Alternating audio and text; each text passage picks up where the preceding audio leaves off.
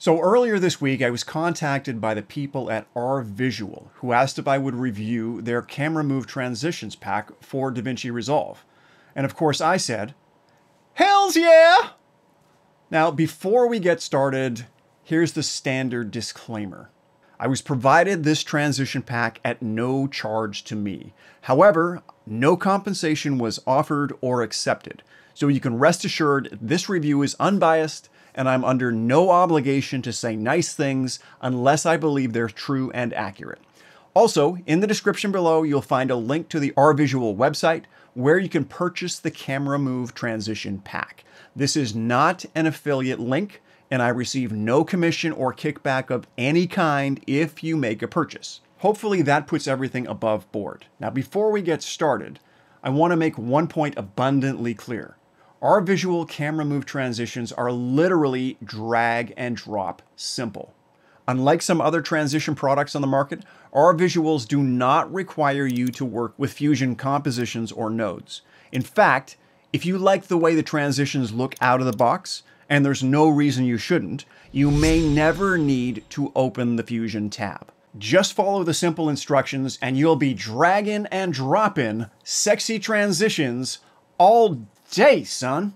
All day. Okay, enough with the housekeeping. Here are five things you need to know before you purchase the R Visual Camera Move Transitions Pack, which from this point on, because it's a mouthful, I'll refer to simply as the Camera Move Pack. Thing number one, it's very fairly priced.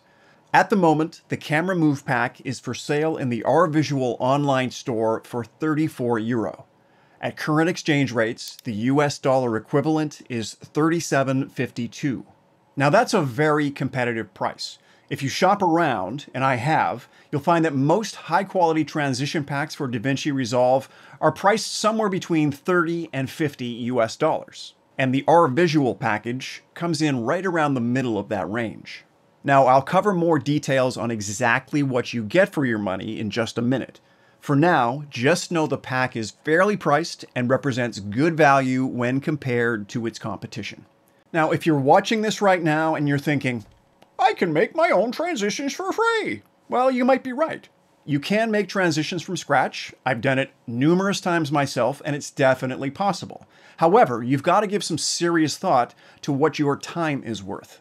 For instance, for me to create a simple zoom transition, set the keyframes, adjust the spline shapes, add motion blur, and make it drag and drop, well, that could easily take up an hour of my day. And if I need to make the transition work for multiple frame rate timelines, well, that takes even more time.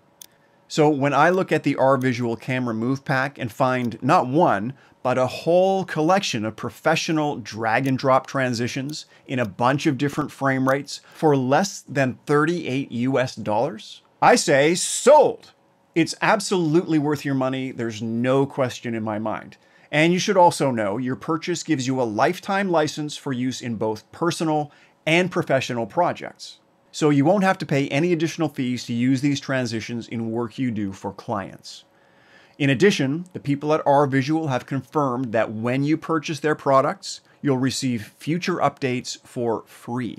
So as the product improves over time and they modify the transitions to take advantage of new DaVinci Resolve features, you'll get those improvements at no additional charge. All of that is very good news. Thing number two, they come with thorough instructions. Now, the main reason I decided not to turn this power tip into a how-to tutorial is that the folks at RVisual have created a really solid set of instructional videos for you to follow. When you download and unzip the Camera Move pack, inside you'll find a PDF containing links to a series of video tutorials covering how to install the transitions in DaVinci Resolve, how to use them on the timeline, how to customize transition parameters, how to change their speed, as well as a detailed troubleshooting tutorial in case you run into any difficulties. All in all, it's a very helpful and thorough collection of videos to get you up and running in no time flat. Bravo to the folks at R Visual. Thing number three, a variety of transitions. One of the most impressive things about the Camera Move Pack is the number of transition styles they've included for the price. Right now, when you purchase the pack, you get 35 transitions. They include spins, zooms, warps, slides, twirls, and pops, plus combinations of those effects in left, right, up, and down variations. And each of those 35 transitions is available in a variety of frame rates. The bottom line is, if you can't find at least a couple of transitions you like in this pack, you may need professional help. Moving on. Thing number four, transitions are customizable. As I mentioned earlier, each camera move transition is ready to use out of the box without ever having to touch Fusion.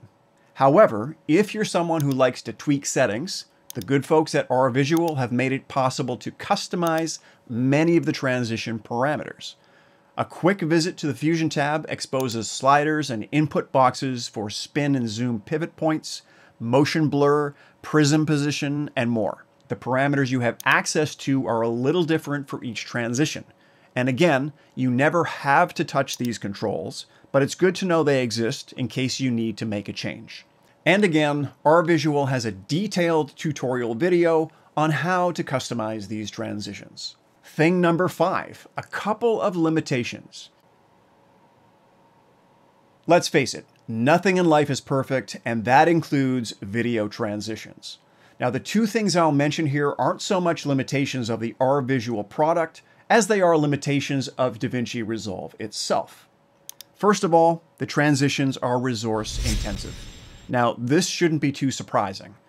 Anytime you create a high quality transition with motion blur and lens distortion and prism blur combined with spin and zoom transformations, well, that can bog down even the fastest CPU and GPU. So depending on the system you're using, you may run into situations where you're unable to get real-time playback of the transitions.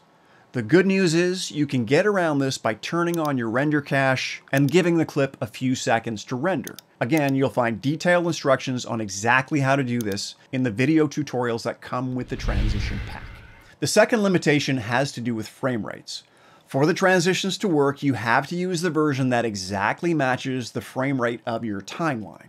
For instance, if you drag a 24 FPS transition onto a 23.976 FPS timeline, it just won't work. The camera move transitions are available in a series of different frame rates, and the R-Visual team is in the process of adding more, so they'll cover all common frame rates between 23.976 and 60 FPS. Just be aware, if a transition doesn't look like it's working, it's very likely because you dragged the wrong version onto your timeline, and that's an easy fix.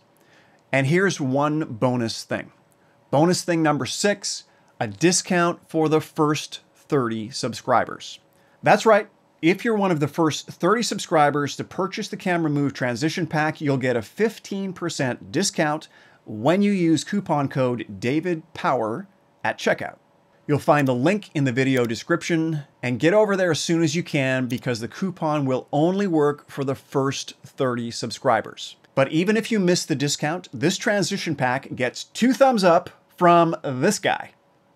If you have questions, let me know in the comments. And if you're digging these power tips, you know what to do. Once again, I'm David Power, and I'll see you in the next power tip.